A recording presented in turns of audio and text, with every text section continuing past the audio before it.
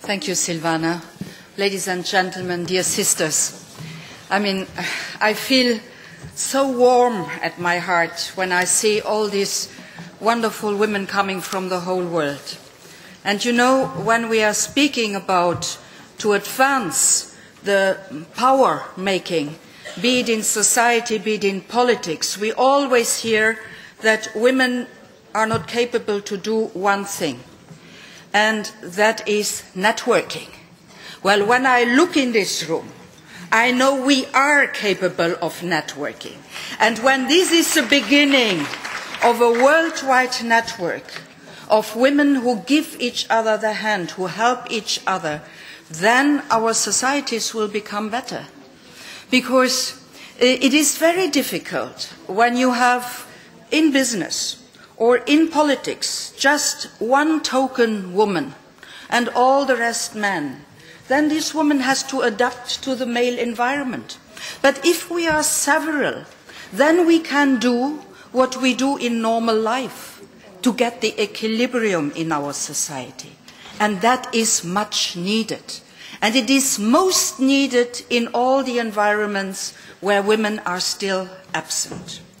Now, I must tell you that the experience of Europe is one where in our Nordic countries, mainly, the um, perception of women are needed at all levels of society has advanced well.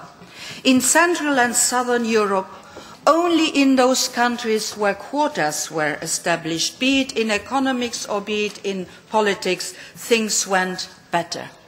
And where things went better, that means where you had this equilibrium between men and women, because the secret is men and women together. It is not men here globally and women here globally. No, both together are the secret. And we made an analysis, not we, our business world made the analysis. So all these feministic organizations like Goldman Sachs and Deutsche Bank and uh, Ernst and Young and uh, McKinsey, um, they made the analysis to look at the business world. When you have a business led only by men and you compare the same business led by men and women, well, the second one makes a much better financial result, which tells me women in business and women in politics is not about women power. It is about economic, economic results. It is about political results. So women mean business and women mean a better society. Everybody has seen that. But then when you look at the facts and the figures, you see very well that this happens only when there is a will. And I must say, very often it is the men who help us to go ahead. Now, we have just heard the um, leader of Jamaica uh, tell us when she was called uh, by the former prime minister to become prime minister and how she managed to change her society.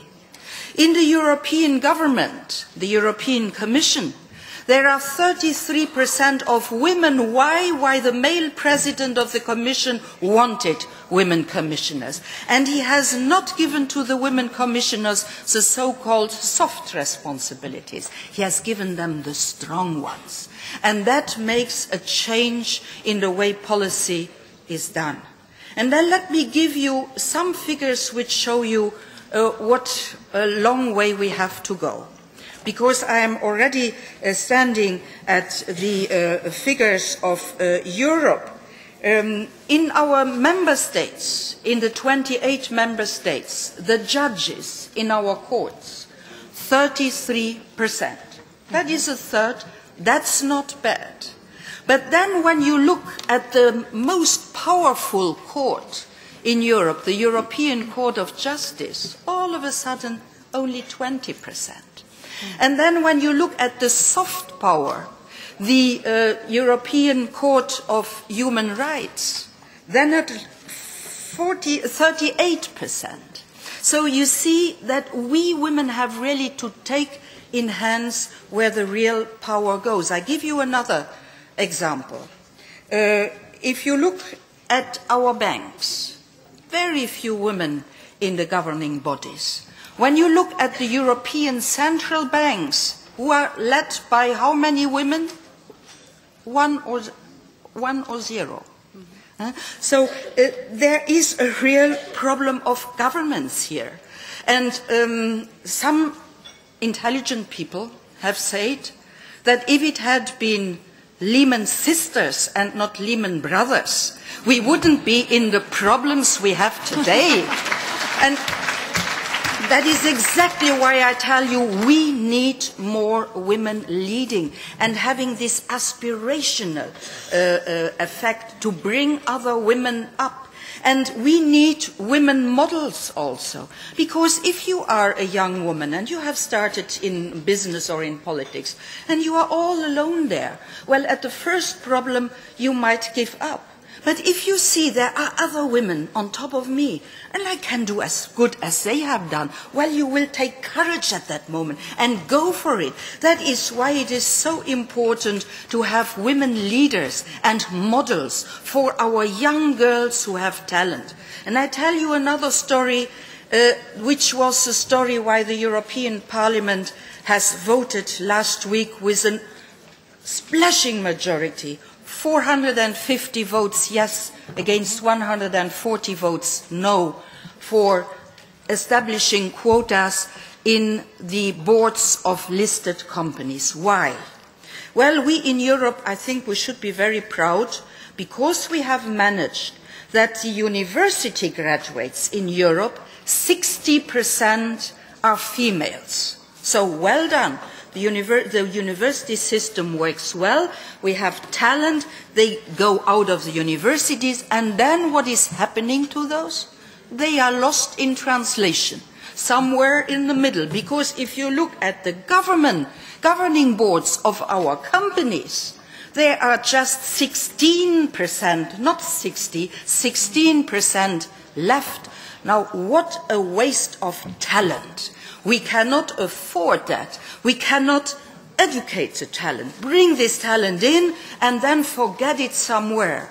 Not only because of economic reasons, it doesn't make sense simply not to utilize the educated talent in our economy, but also for a reason of our societies. Because we have seen everywhere that when you have women taking over together with men then there are less errors made. The questions of family, the question of equality, the question of the heart in our life is taken serious. Now we meet, we need a lot more heart and a lot less hard policy. We need women on board. We need women in politics there where they are on board where they are in politics, things go better. So thank you for all those parliamentarians all over the world who help us to go to this direction. And I thank our European Parliament. You have been a model in our European Parliament and you have made a real breakthrough. That's a historical one.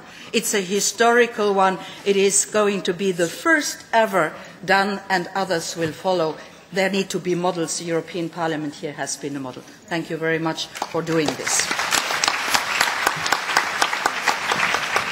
Thank you very much, Viviane. And um, what she has not mentioned, she's been for many years a parliamentarian herself. And she once told me the story that for 10, 20, 20 years, 20 years parliamentarian. So um, there is somebody who also crashed the glass ceiling for many other women to follow. And she once told me the story that when she was pregnant, very visibly pregnant, she then gave a speech in the parliament in Luxembourg and she made um, new laws and got the majority for laws and new rules for maternity leave and, and uh, legal con going coming back to, to work, right? Oh, uh, no, not different one? No, we had this. You, you see, uh, we in Europe, most of us have started from the droit Napoleon, Napoleonic law, and Napoleonic law only recognizes the man Women are worth nothing.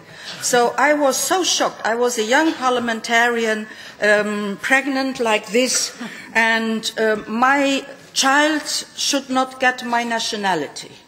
And I said, no.